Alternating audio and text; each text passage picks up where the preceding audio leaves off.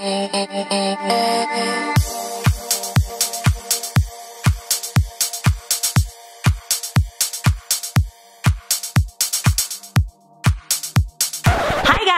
מה קורה?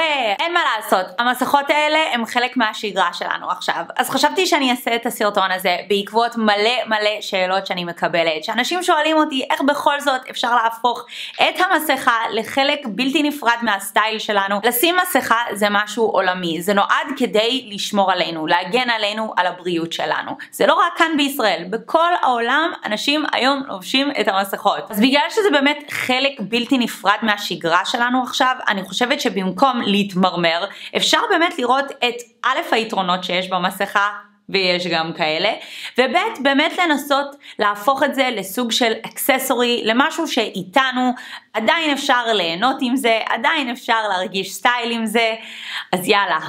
בואו נתחיל. אז קודם כל, איך נכון בכלל לשים את המסכה? אני רואה כל כך הרבה אנשים לובשים את המסכה בצורה פשוט לא נכונה. אז נגיד זה למשל לא נכון, או זה גם לא נכון, וגם זה לא נכון, וגם זה לא נכון, וזה לא נכון, וזה לא נכון, וזה לא נכון. אז איך בעצם לובשים את המסכה נכון? ממש ממש חשוב שהמסכה תכסה לנו גם את האף וגם את הפה, כולנו בתוך זה ביחד, ורק אם באמת באמת נציית להוראות, אנחנו נוכל לשמור על עצמנו. וכמובן לפני שאתם מתחילים לגעת בפנים שלכם או להתאפר, וזה אגב רלוונטי תמיד ולא רק בתקופה הנוכחית של הנגיף, זה לשטוף את הידיים. הידיים היטב עם מים וסבון. אף פעם אל תיגעו בפנים שלכם לפני ששטפתם ידיים עם מים וסבון. אף פעם. אבל עכשיו עוד יותר חשוב. אוקיי אוקיי אוקיי אוקיי, הבטחתי איפור, בואו נדבר על איפור. אוקיי, אז ליום יום כשגם חם, ובואו נגיד את האמת, אנחנו מסתובבים בחוץ, הולכים לחנות, הולכים לקניון, מורידים את הילדים במסגרות, אנחנו לא באמת מורידים את המסכה. ולכן אני חושבת שלגמרי אפשר לוותר על מייקאפים ועל איפור בכל האזור שבעצם אנחנו לא רואים. רואים בפנים. אז ביום יום אני חושבת שהדגש צריך להיות בעיניים. איילנר זה משהו שכולנו מאוד מאוד מאוד אוהבים, כי תכלס זה מה שהכי מחמיא לנו לעיניים. אז אחרי כמה שנים שהאיילנר קצת יצא מהאופנה, אני חושבת שעכשיו זה הזמן לגמרי להחזיר אותו ולאמץ אותו. אבל לא כולם רוצות רק להיות מאופרת הדין בעיניים, ואני, תאמינו לי, אני איתכם, ואם את כמוני ואת אוהבת נצנצים וצלליות מודגשות, ו... אייליינרים וריסים מלאכותיים ואתם אוהבות ממש ממש לאפר את העיניים וממש להדגיש את העיניים עוד יותר בגלל שלא רואים את שאר הפנים, אז לגמרי תעשו את זה, תעופו על עצמכם, תעשו איזה איפור שאתם רוצות. אבל אם אתם בוחרות ממש ממש לאפר את העיניים, בבקשה אל תעשו את הדבר הבא. אל תאפרו רק את העיניים ואל תוותרו על האזור שאנחנו לא רואים.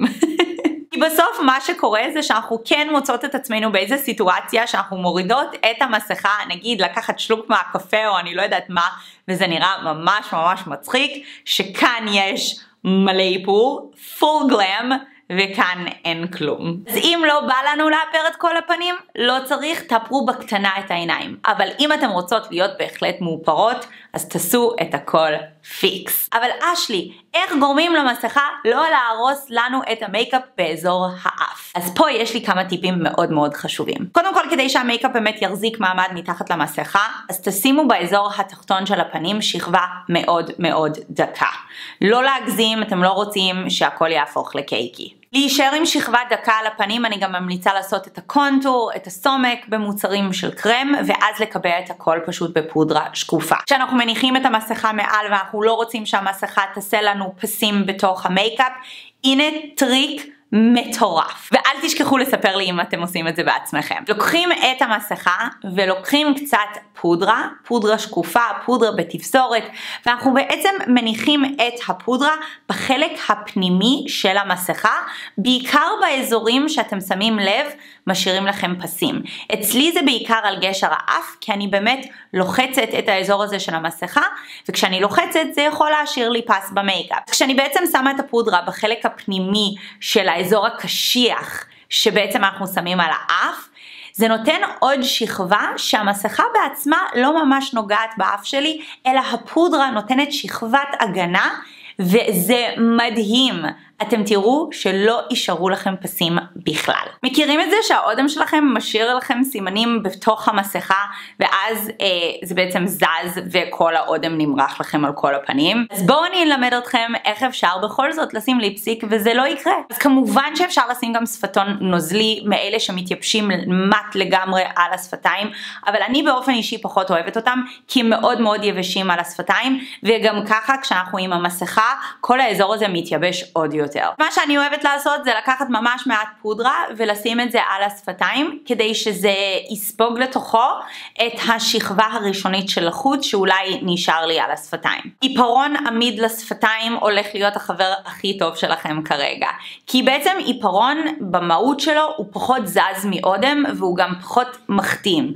אז אני גם אוהבת להשתמש בעיפרון כדי לתחום ולהגדיל את השפתיים אז אתם יכולים בהחלט לעשות את זה אפילו למלא טיפה את השפתיים אם אתם רוצים שמים עוד שכבה ממש דקה של פודרה על השפתיים ואז עוברים עם האודם את האודם שמים בשכבה מאוד מאוד מאוד דקה, לא מעמיסים יותר מדי, כי בעצם בליפסטיק יש לחות, והלחות זה מה שגורם לזה לזוז ולברוח מהשפתיים. אחר כך תיקחו טישו, תניחו על השפתיים, ובטפיחה טובה ככה על השפתיים אתם בעצם מספיגים לתוך הטישו עוד קצת מהלחות שיש בתוך השפתון. ולסיום, עוד טיפונת, ממש שכבה דקה של פודרה לשים על השפתיים וזה מקבע את זה במקום. שוב, שכבה סופית של הגנה כדי שזה לא יצא על המסכה.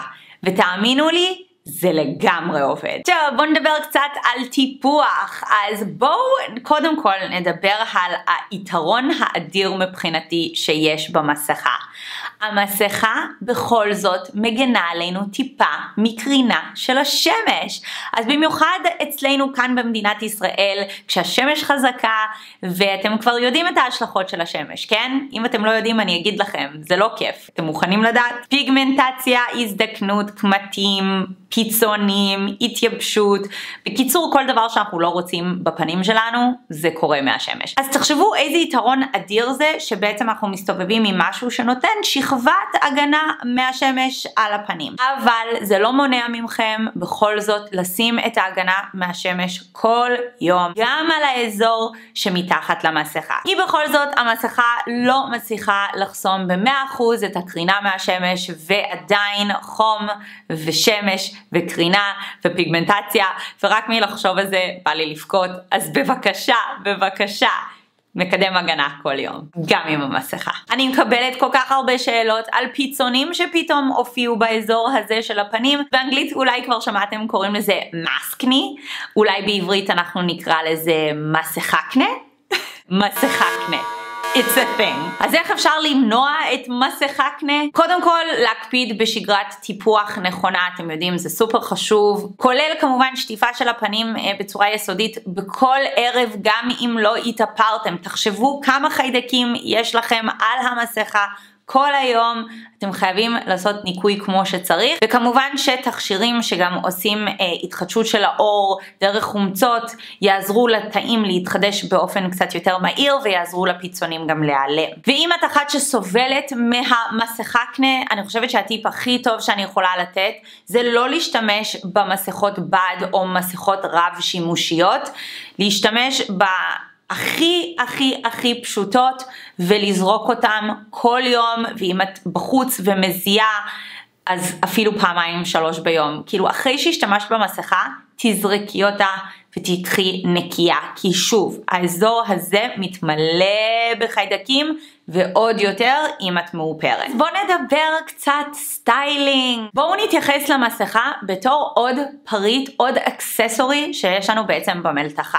ברגע שתעשו את ה switch הזה בראש, אתם תראו איזה fun זה גם יכול להיות. נגיד משהו שאני מאוד אוהבת לעשות זה להפוך את המסכה שלי ל statement, זאת אומרת איזשהו פריט שמושך את התשומת לב בכל הלוק. פעם היינו עושים את זה עם statement sunglasses, פעם היינו עושים את זה עם statement jewelry, היום אני אומרת לגמרי תעשו את זה עם statement mask. אז משהו שאני מאוד אוהבת לעשות זה באמת להתלבש די basic, אולי הכל שחור או הכל לבן, ולשים עם זה מסכה סופר מיוחדת. אז נגיד מסכה עם נצנצים זה תמיד כיף. ואז זה בעצם אה, באמת מושך את העין לאזור הזה של הפנים, זה fun, זה כיף, וזה לגמרי הופך את זה ל fashion לכל דבר. יש גם מלא מסכות שאפשר לקנות עם הדפסים ודוגמאות, ואפשר כמובן גם להתאים אותם לבגד ול outfit. אז נגיד יש את המסכות האלה שהיא באמת פס ורוד וסופר חמוד וסופר טרנדי, אז מה שאני אוהבת לעשות זה באמת ללבוש משהו עם ורוד ב outfit שלי, וזה לגמרי נראה שהתאמתי בכוונה.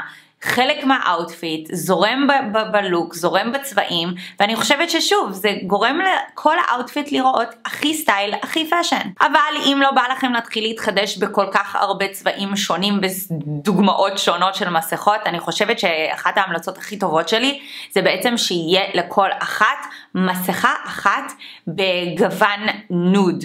או ניטרלי. אצלי לצורך העניין זה בגוון אפור בהיר, והאפור הבהיר הזה לגמרי משתלב עם כל outfit. במיוחד עכשיו בקיץ שאנחנו לובשים באמת צבעים שהם קצת יותר צבעוניים וקצת יותר חיים. אז בעצם כל outfit שלי יכול לגמרי להשתלב עם מסכה בגוון nude, או אפור בהיר, או בז', שמנת וכולי. אבל בעיניי גם אל תזלזלו בפשטות שיש, אנחנו קוראים לזה מסכת מנתחים. נכון?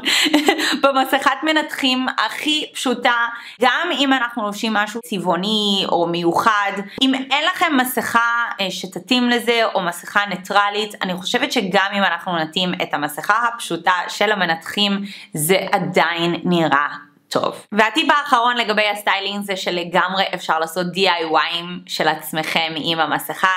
יש אלף ואחד סרטונים ביוטיוב על איך אפשר להדביק על המסכה כל מיני אבנים, או לתפור מסכה בעצמך מבדים שאת אוהבת. ואם אתם סופר עצלנים כמוני, אפשר גם תמיד פשוט לצייר לעצמכם את הליפסטיק על המסכה. יש לכם משקפי ראייה, או שלפעמים אתם יוצאים עם משקפי שמש והמסכה, ופתאום כל המשקפיים עם אדים איזה מעצבן זה, נכון?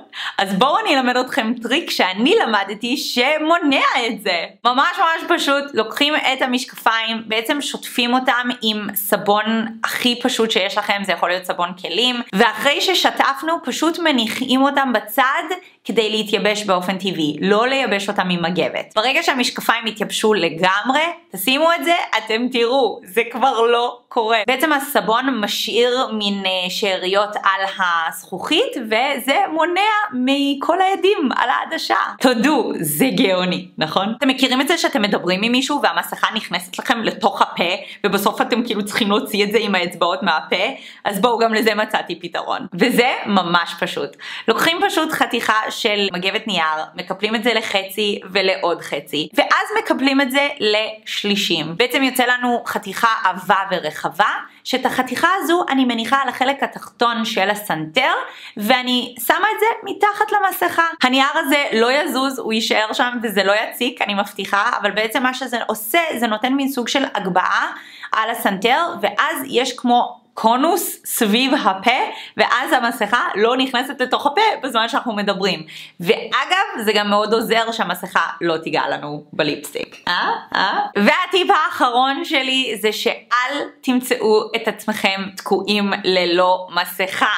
זה לא נעים, זה לא כיף. אז תפזרו מסכות בכל מקום. אני באופן אישי תמיד מפזרת גם בתיק שלי, גם באוטו, גם במגירה ליד הדלת יציאה מהבית, כדי שלא משנה מה, תמיד אני זוכרת, תמיד זה איתי, תמיד זה נגיש, בחיים אני לא נתקעת בלי מסכה. ונגיד, אחרי כל הטיפים שעכשיו נתתי לכם, אם בכל זאת קמתם בבוקר ופשוט לא בא לכם להתאפר, לא בא לכם סטייל, לא בא לכם שום דבר. הכי כיף עם המסכה, בעיניי, היתרון הכי טוב במסכה. מסכה, משקפי שמש וכובע. לא רק שאת ממש מוגנת מהשמש, אבל אף אחד לא יזהה אתכם. אז אני מקווה מאוד שנהנתם מהסרטון, בואו נשמור ביחד על כל ההנחיות כדי שנוכל כמה שיותר מהר לחזור לשגרה. אני מוסרת לכולם אהבה ומלא מלא מלא בריאות, ואנחנו ניפגש בסרטון הבא. Love you guys. ביי!